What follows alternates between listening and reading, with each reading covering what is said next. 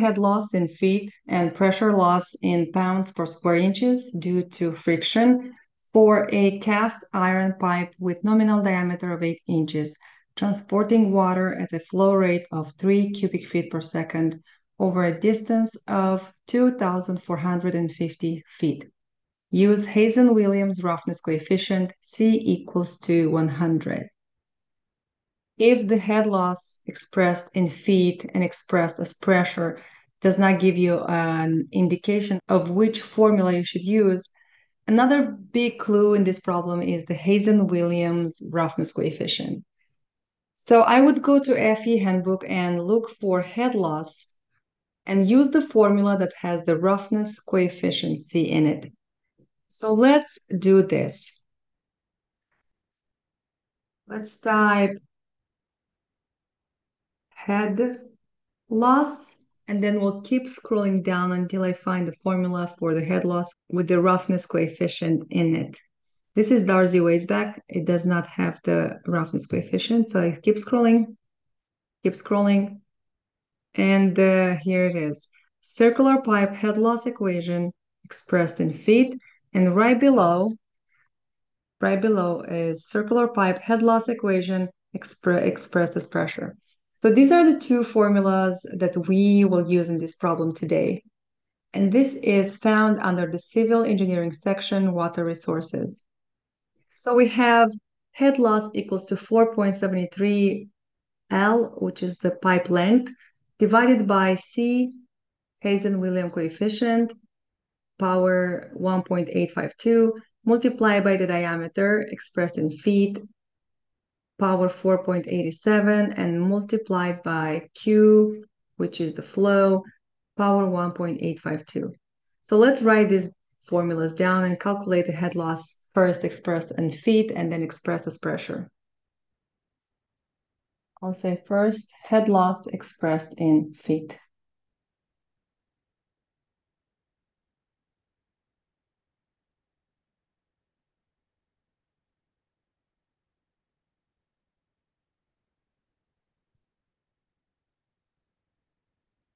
So formula says head loss equals to 4.73 multiplied by the length divided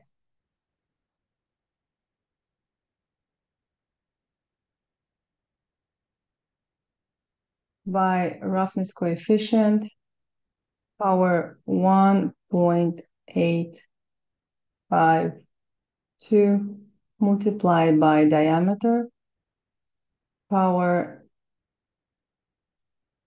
power 487 and multiplied by the discharge power 1.852 let me just verify that this is correct.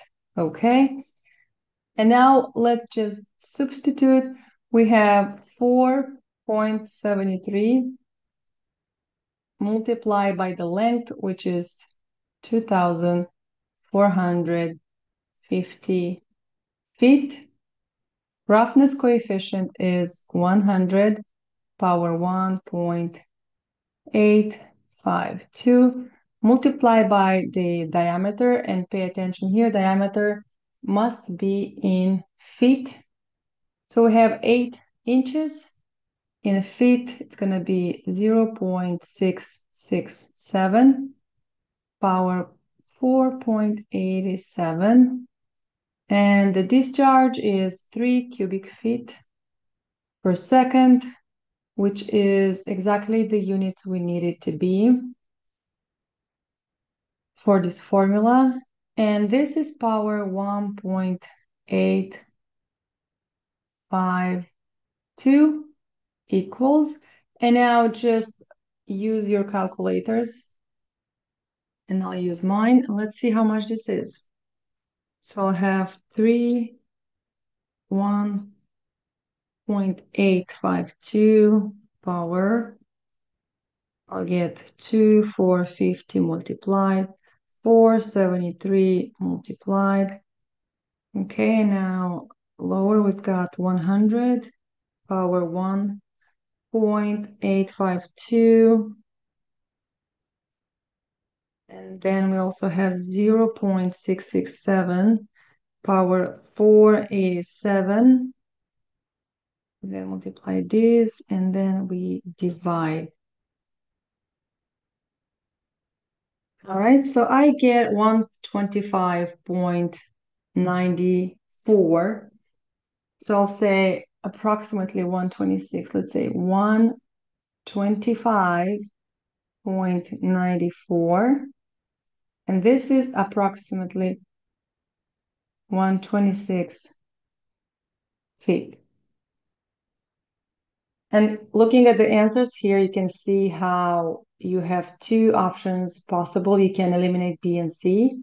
We have to calculate now the head loss expressed as pressure to find out if A or D is the correct answer. So two, let's say head loss. Expressed as pressure pounds per square inches. And P equals 2 4 52 multiplied by Q power 185 and below we have roughness coefficient power 185 multiplied by the diameter power 487. All right. And in this formula, we need pressure. Pressure is coming out in pounds per square inches per foot of pipe. And we'll see what that means. Q needs to be in gallons per minute. So there's some transformations we have to make. Diameter is in inches and Hazen-Williams roughness coefficient. So let's first work on transforming the discharge from cubic feet per second. So we have three cubic feet per second into gallons per minute into gallons per minute. And we're going to use the unit section to do that. So I would go to the units. Let's scroll down here a bit.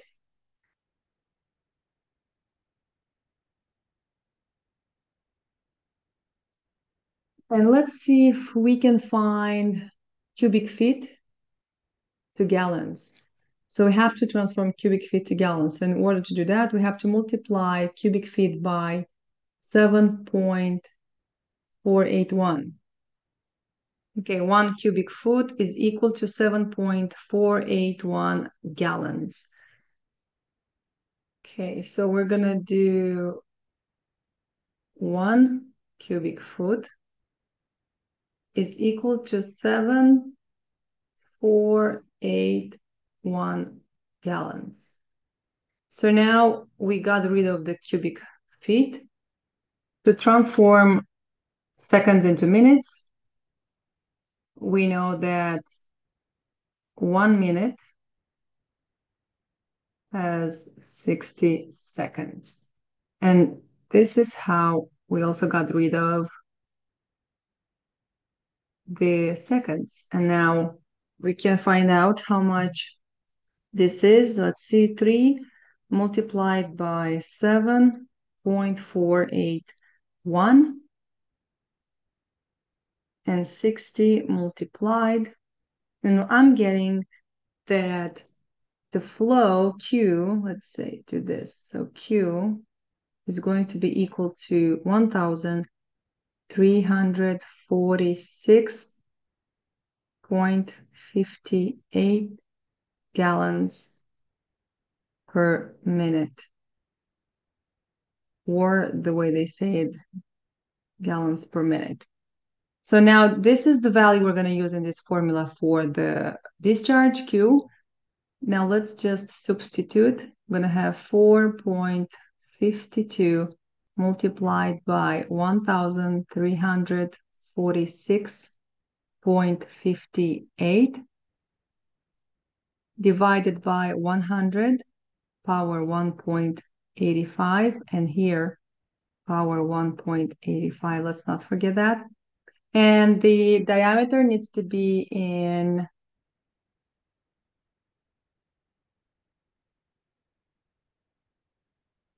in uh, in feet I'm to do a quick search and diameter not must be oh look at that diameter must be in inches so it's very important to check this part check the units every single time.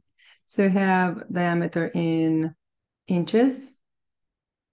So I'm going to add here 8 power 4.87. And now let's calculate that. So I have 1,346.58, 1.85 4.52 multiplied. And then at the bottom, I have 100 power 185 and 8 power 487. Multiplied and divided. Okay, so I get a value of 0 0.0, give me a second, okay, 0 0.022. I get 0 0.02219. And this is, as per FE handbook, this is the pounds per square inches per foot of pipe. So let's write this down. It's pounds per square inches per foot of pipe. Now you notice how this value doesn't match any of the values here, right? That's because it's per foot of pipe. In order to find out how much is per the entire pipe, we have to multiply this value by the length of the pipe. So the total pressure loss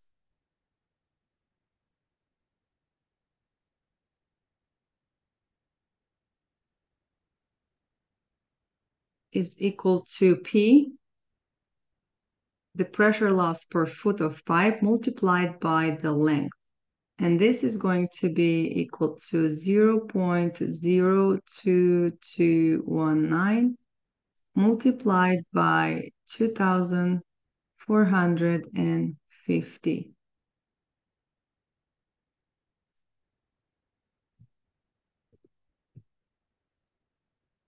And this gives me a value of 54.4.